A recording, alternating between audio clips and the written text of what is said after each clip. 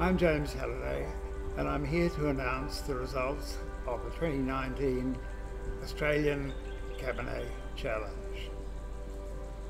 First, uh, from Coonawarra, and I am uh, giving these results, regional winner results, uh, alphabetically.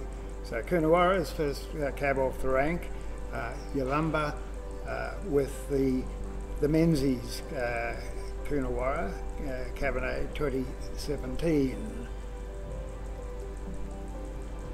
From Great Southern, and for the first time, uh, a winner in the regional taste, taste off, uh, Forest Hill uh, Vineyard with its uh, Highbury Fields Cabernet Sauvignon 2018. From Margaret River, Ringbolt uh, 2018 Cabernet Sauvignon.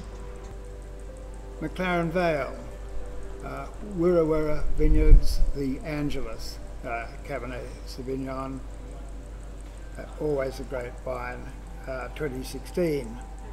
Then another first time winner from the Pyrenees, uh, Glenlofty Wines, with its uh, estate Cabernet Sauvignon 2017, and Yarra Valley Dominique Portet uh, Winery, uh, Cabernet Fontaine 2018.